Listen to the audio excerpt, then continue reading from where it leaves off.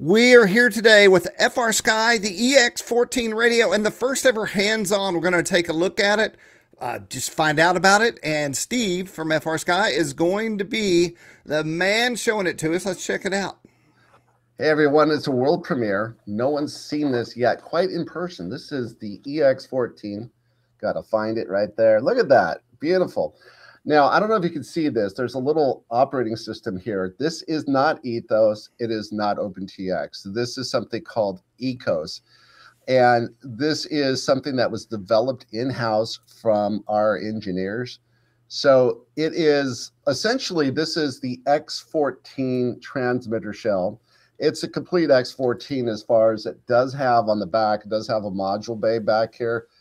Um, but this is so new that a lot of the things that you would expect to work simply don't work. So, for example, the module bay doesn't work. It will have Bluetooth. I do not believe it's working right now.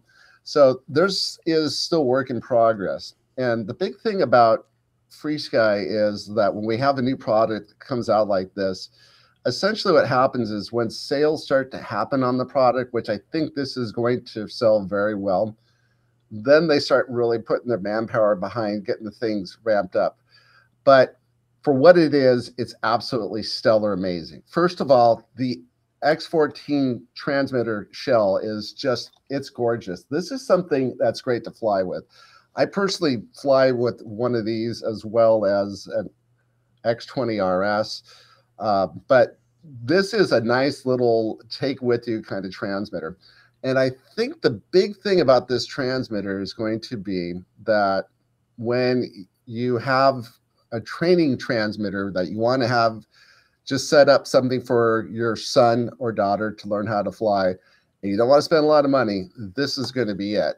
Once you get this set up, uh, it will take a few minutes for you to figure, figure out how to get the menus to work and to figure a way around inside of there. It's not impossible to learn but it's it's it's somewhat intuitive. Um, it's definitely not ethos, but what this will do is once you get it set up, you can create a simple basic model, and you can set this up as a trainer.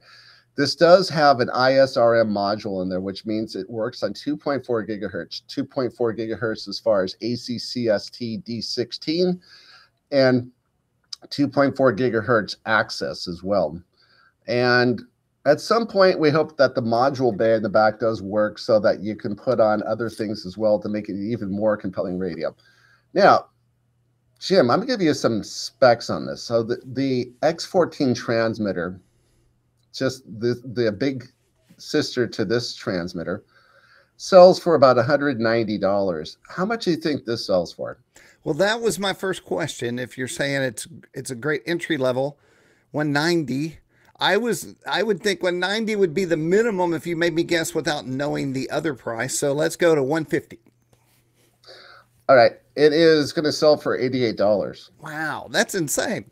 It is insane. Yeah. and this is a really decent little transmitter. The operating system is it's really cool. It's it is very straightforward. Um, it is definitely um, no thrills, but it is something that you will absolutely learn to work with. And it's really designed for people who are into drones and things like that as well. And Drone Camp is something inexpensive. It will set up multiple models as well. So you can, in this operating system, you can set up multiple different planes or quads or whatever you're setting up and fly with it. And how many models will it hold? Uh, probably at least 30. I, I, believe that I didn't look on the list. I'd say it's probably about 30 at least 30 models. And it's and so if you're watching right now and you're like where can i check this out? Uh, there is a link on the FrSky site and then i'll have all that information below in the description. But uh, when will they be able to actually if that's the first one we've seen when will we be able to buy one? This is going to be coming out i would say within the first quarter you'll start to see the bet dealers. And um, the the big questions i have is what how do, do you update this transmitter?